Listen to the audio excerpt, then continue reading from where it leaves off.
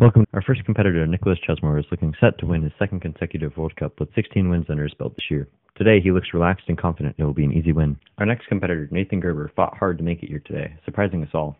He is definitely the underdog going into this matchup, looking for his first World Cup win. Today, with so much on the line, he looks nervous yet excited to participate. Welcome to the 2020 Sail Jousting World Cup here in Maiden Bay, where the first joust is about to start. Weather over here is pretty cloudy with not a whole lot of wind. And here's the whistle. Line up. And they throw. And ooh, both of them get glancing blows off the side, which will count for one point for each of them. Tie them up going into the second round. As Chesemore and Gerber line up for their second joust, tied 1 to 1, their goals will be to try and land another body blow and avoid their opponents so that they can get a lead going into the third round. Here they are. Whistle. Lining up, to throw. A wild throw by Gerber, and Chesemore doesn't even have to avoid. After that one, I can bet you Gerber is feeling a lot of emotions about missing that shot. It's going to make it a lot harder for him to catch up and win now. He'll have to win both of these next jousts in order to secure victory. Here they are, going to the third joust with Chesemore up 2 to 1 against Gerber.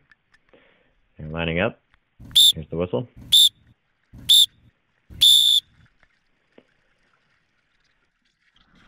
Oh no, it looks like Chesemore was playing dirty. Threw one right at Gerber's head. I hope he's okay.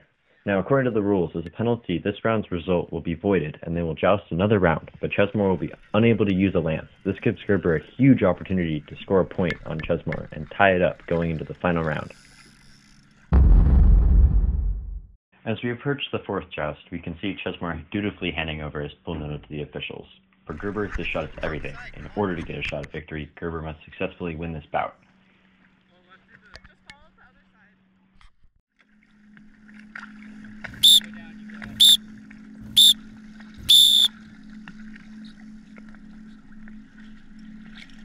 Gerber does it. He hits Chesemore straight in the chest.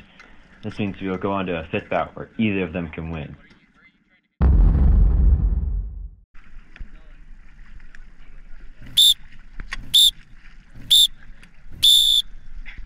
They approach with all the marbles on the line. They throw, and oh, Gerber has knocked Chesemore out of his boat with such a solid blow. Let's see that over again. Wow, so much power. What an amazing end to a great day of jousting with Nathan Gerber coming out on top to clutch a victory as the 2020 Sail Jousting World Champion. He's so excited he even took a dip in the lake to celebrate. Well, that's all, folks, for the 2020 Sail Jousting World Cup. See you next year.